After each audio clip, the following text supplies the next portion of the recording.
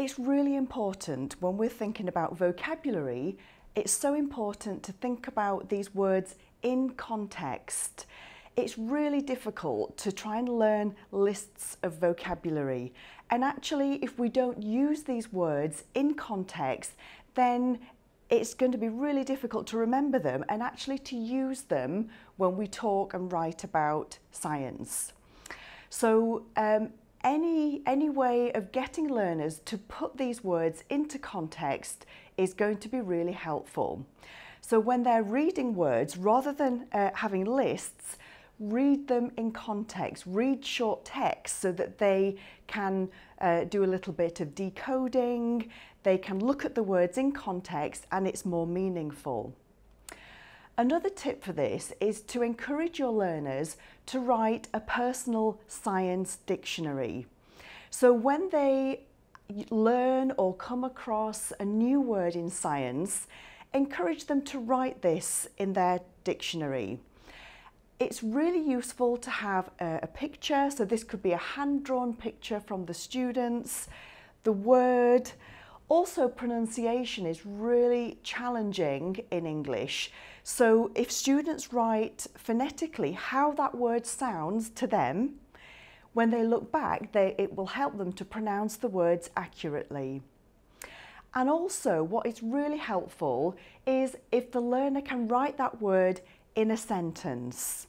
And that actually is really useful for the students and it helps them to remember and how that word is used in English. But actually for you as the teacher, you can check, you can see, does this learner actually understand this word? Are they using it correctly in this science context? Another really useful thing is to encourage your learners to use graphic organisers. So in language, it's really helpful to categorise. I've talked a lot about using words in context and this is another way that your learners can help themselves to learn vocabulary. So an example of this could be uh, acidity. So if they can categorise uh, different substances that have a high acidity and then they can go into the different categories. And this really is helpful.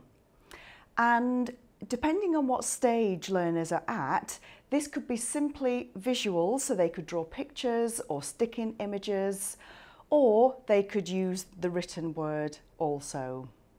Another idea to support students with vocabulary learning is actually to play games.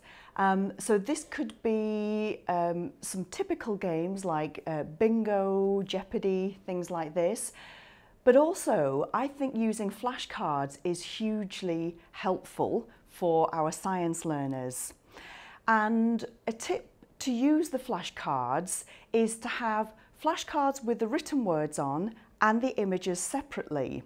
Now, you might think as a teacher, uh, this is going to take quite some time to prepare these resources.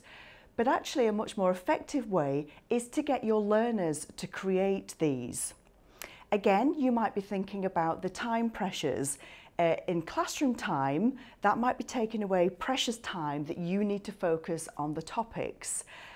But there's, it's a good idea to actually get your students to do, it could be a flipped classroom idea where uh, you give them a list of words that they're going to be using for the next lesson and ask each student to create maybe two or three flashcards all of the class bring those in and then they can use those as reinforcement so they have the visual and the written word and it's all reinforcement.